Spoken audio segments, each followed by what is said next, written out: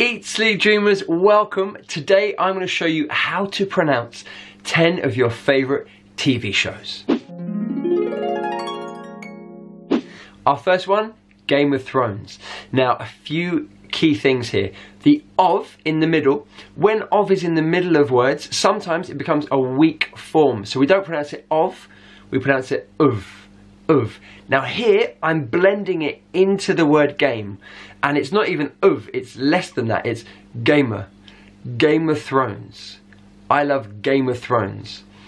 Now thrones, tricky one, that th sound, that th thrones. So really you've got to use your tongue, your top teeth, and to blow out air. Thrones. Game of Thrones. Game of Thrones. You try it. Make sure you're trying it at home. Game of Thrones. So my favourite program is Game of Thrones. My favourite program is Game of Thrones. Hugely popular, this one, Sherlock. So we've got two sounds here. Sher, sher. So it's that sh, sh. So you're blowing air out. Sherlock.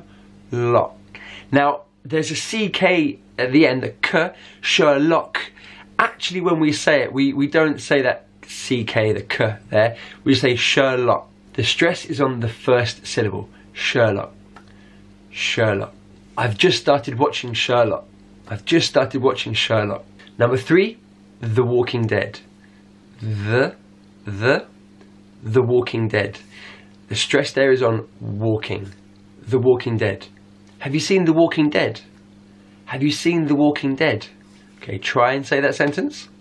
Have you seen The Walking Dead? Okay, good job. This next one is really popular in Britain. Downton Abbey. Downton Abbey.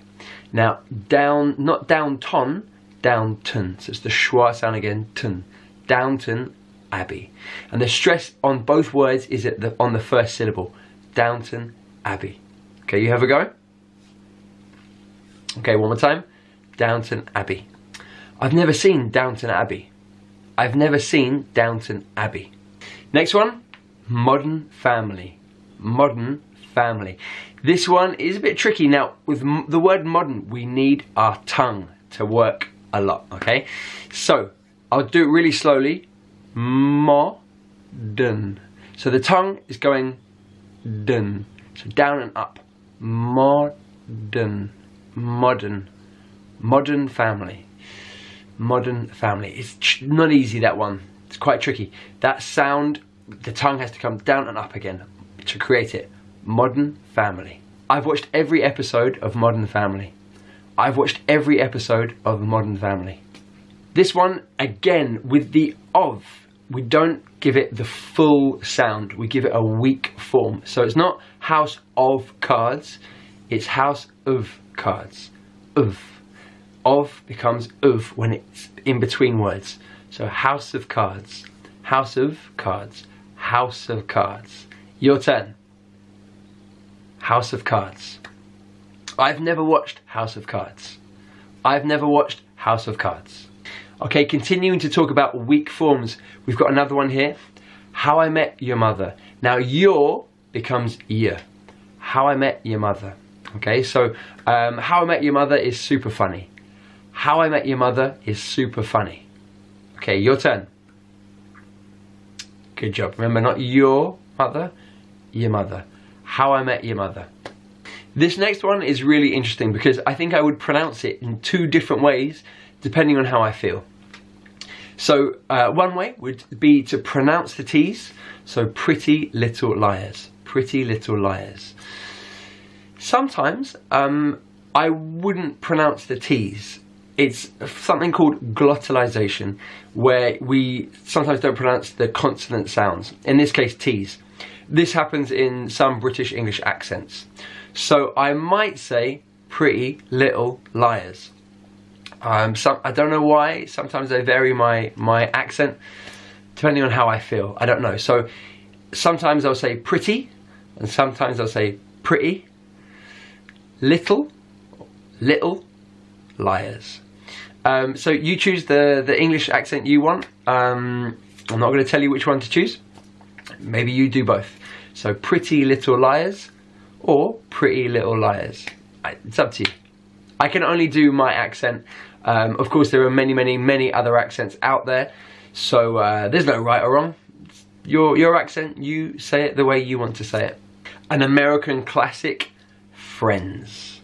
Friends. Now, as you notice there, we don't actually pronounce the D sound there.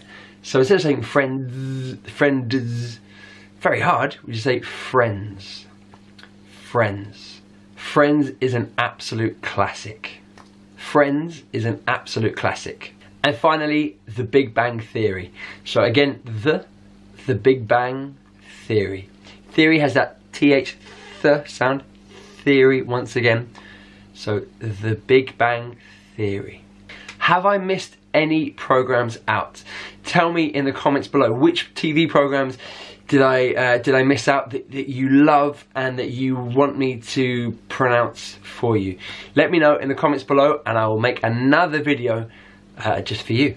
And tell me which of these TV programs do you watch? Which ones do you love? Um, and uh, yeah, which ones maybe haven't you seen that you'd like to check out? Finally, let's look at some vocabulary related to TV shows. Now, one TV show is called an episode. So one version of a TV show is called an episode. So for example, my favorite episode of Friends is when Joey wears all of Chandler's clothes. Okay, so my favorite episode of Friends, there's one show, is when Joey wears all of Chandler's clothes. Now, many episodes together is called, well, in British English, we call it a series. So let's say Game of Thrones, there are 10 episodes, and then that those 10 episodes make one series. In American English, they say, instead of series, they say season. So 10 episodes makes one season. Now, in British English, we are more frequently using season as well. I'm hearing it more often with friends, family, even myself. I would say, oh, the new season of Game of Thrones is coming out. The new season of Game of Thrones is coming out. So series and season, the same meaning. One is British English, series. One is American English, season. But now more commonly, certainly in British English, we are using season as well. Thanks for watching. If you've enjoyed this, please remember to give it a like. Also, if you know anyone that would find this useful, please share it with them. As always, guys, thank you so much for joining me. This is Tom, the English hipster, and you know what time it is. It's time to take your English to the next level.